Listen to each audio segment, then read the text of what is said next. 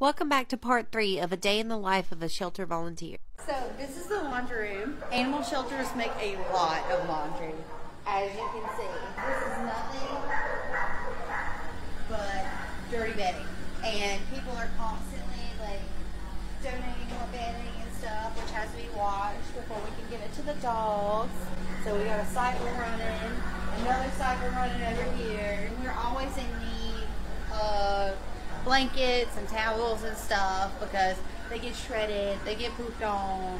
So lots of laundry. After it's finished washing and drying, then it has to be folded and put away.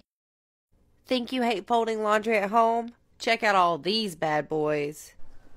Let's get back to work.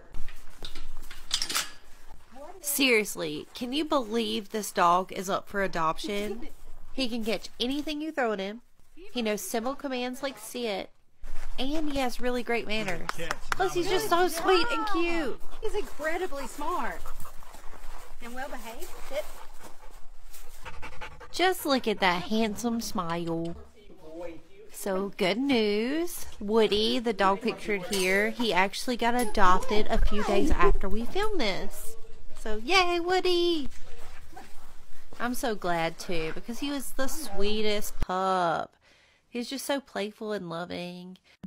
Here he is getting lots of scratches from Matthew.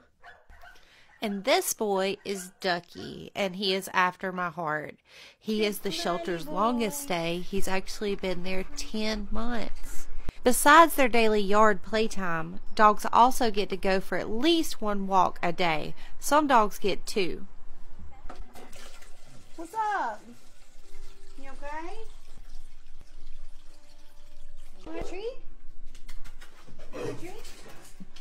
Now comes the dog's second favorite part of the day dinner time.